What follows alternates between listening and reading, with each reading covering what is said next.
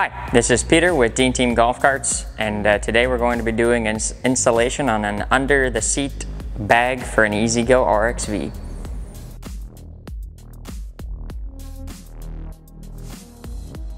The kit comes with a metal shield that sits on top of your lithium battery.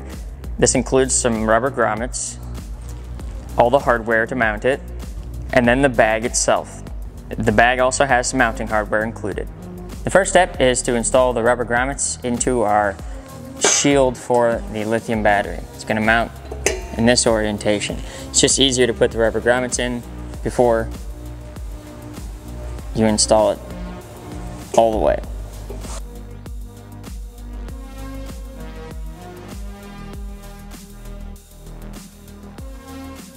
Next we'll be installing the shield in the battery compartment. You'll have it in this orientation.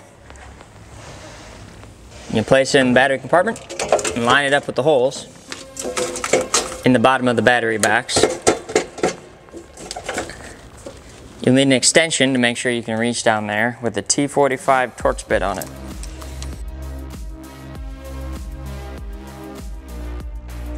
Make sure it's nice and tight. Next we will be removing the Torx bit T50 um, bolts that hold on the seat stay on the inner side. And you'll also be taking out this uh, bolt that's holding uh, the cross member for the seat.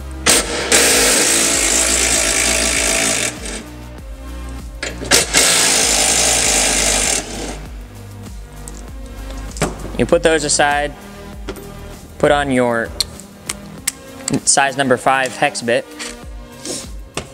and use the provided hardware to install the mounting for the seat, under the seat bag. Uh, they give you a couple of nuts that go in there and a couple of washers as well. Just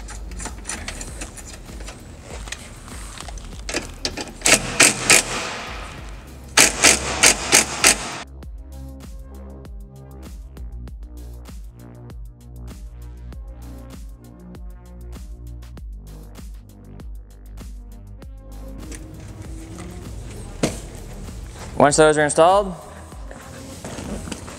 you're ready to put your seat under the seat bag in. It's got the four little hold down tabs that go in the mount you just installed to keep it centered.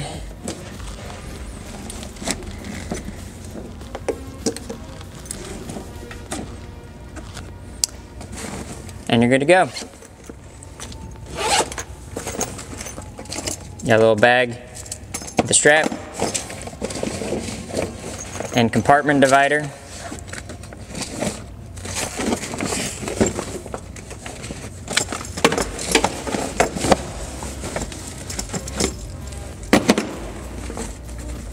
Now you can throw whatever you want under the seat.